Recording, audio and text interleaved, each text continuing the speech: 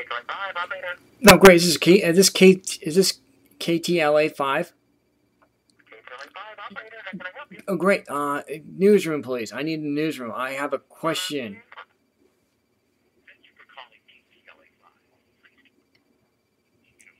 Your call is very important to us. KTLA 5. Keep that. Oh, great. Uh, uh, question for you. Are you going to ask this?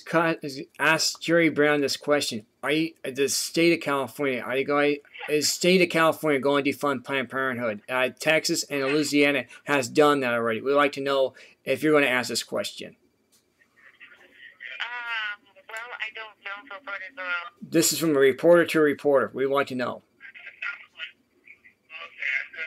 Well, I don't know if, they, if they're asking that question right now. So Well, I'm asking you if we're going to ask this question. that at the I'm asking you if you're going to ask this question as re- uh, you know your organization KTLA I- is KTLA going to ask this question? That's what I'm calling about.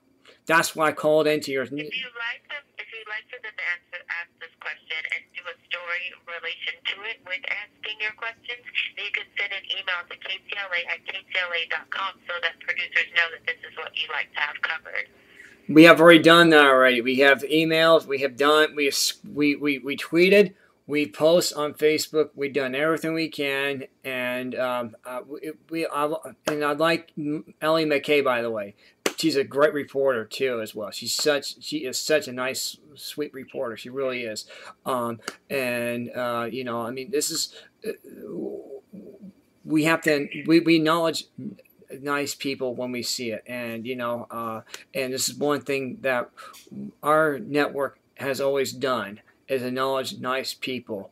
Um, and might not agree with them but acknowledge that the fact they're actually doing something right. So um, that's what we do here. This is what we do. This is what we're about. So i appreciate this. Thank you for thank you for your call. Okay, bye bye. bye bye